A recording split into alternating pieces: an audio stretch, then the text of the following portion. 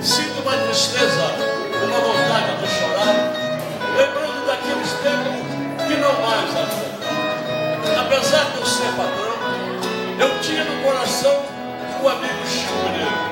Acabou morrendo esse dia. Na viola era dolorido.